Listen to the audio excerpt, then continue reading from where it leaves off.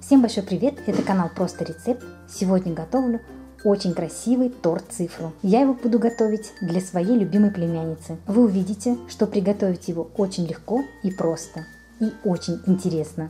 Оставайтесь со мной, будем творить вместе.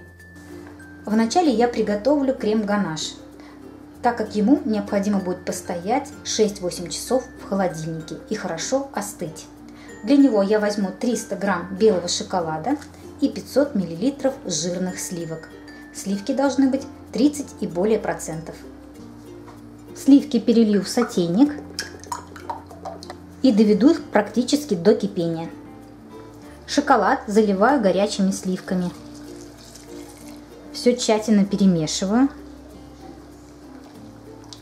Пробью погружным блендером, чтобы получилась хорошая эмульсия.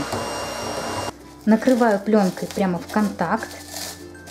Это необходимо сделать для того, чтобы не образовывалась пленка и не было корочки. И еще не собирался конденсат. Теперь это все остужаю при комнатной температуре и убираю в холодильник на 6-8 часов. Для этого торта я буду готовить медовые коржи. А, коржи у меня будут достаточно большие, примерно 30 сантиметров длиной, и их будет 6 штук.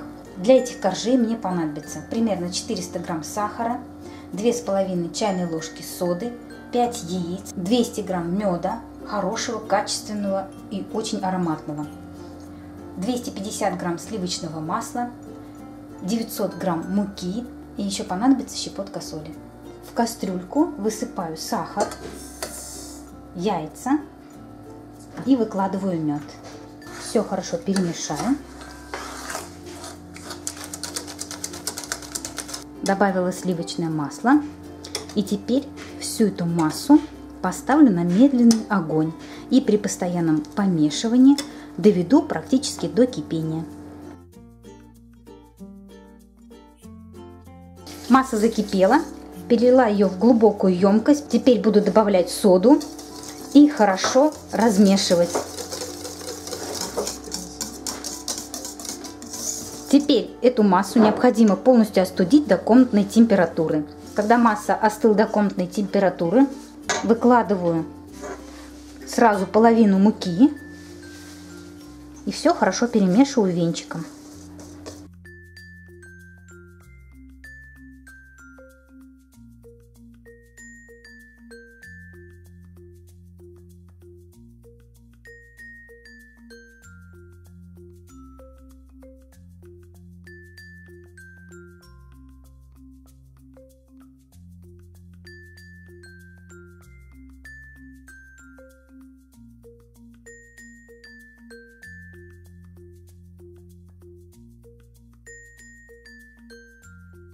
Тесто должно быть мягким и даже вот таким вот живым.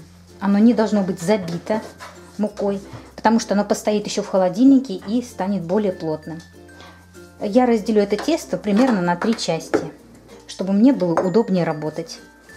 Каждую часть уберу в пакет. Тесто убираю в холодильник минимум на 2 часа.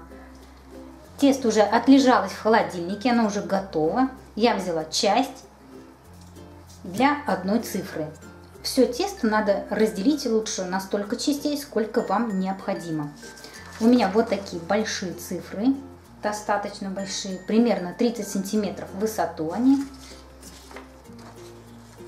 Тесто необходимо раскатывать сразу на пергаментной бумаге. Пергамент должен быть хороший, чтобы тесто не прилипало. Немного разомну его в руках, потому что оно холодное.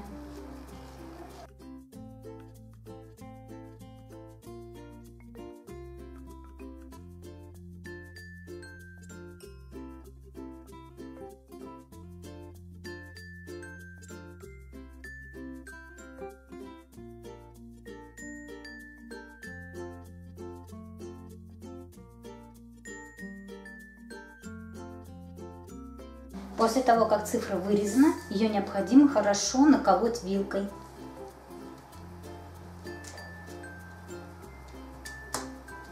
Переложила вместе с пергаментом на противень и ставлю выпекаться при 180 градусах до золотистого цвета.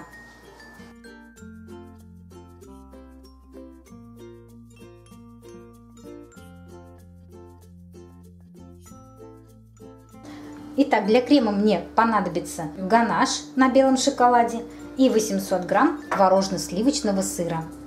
Перед взбиванием все должно быть охлажденным. В чашу, в которой буду взбивать крем, выкладываю сыр. Сыр хорошо взобью миксером.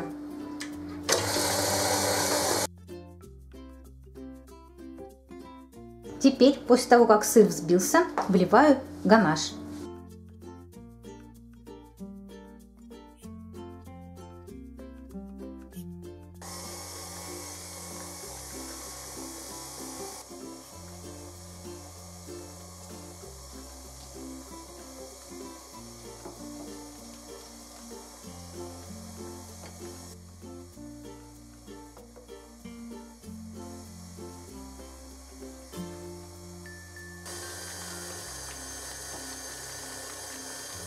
Вот такой воздушный плотный крем должен получиться.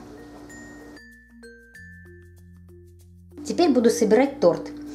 Перекладываю крем в кондитерский мешок с насадкой круглая 8 миллиметров. Крем по много не кладу, чтобы он не таял в руках. Выкладываю клубнику. Первый слой нижний готов. Теперь выкладываю второй слой коржей.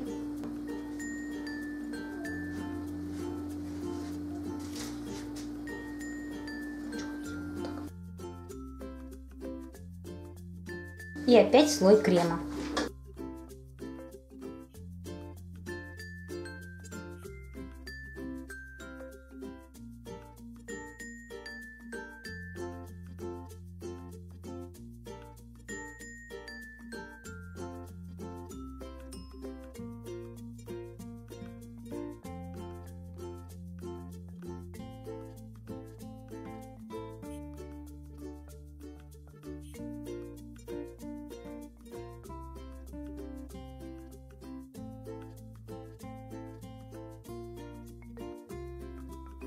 Вот такой замечательный сладкий подарок можно сделать для своих родных и близких. Очень красиво, необычно, но в то же время очень интересно и легко. Подписывайтесь на наш канал, ставьте лайки, пишите свои комментарии. Я с вами прощаюсь, до скорых встреч. Всех благодарю за внимание. Свою племянницу поздравляю с днем рождения. Всем пока-пока.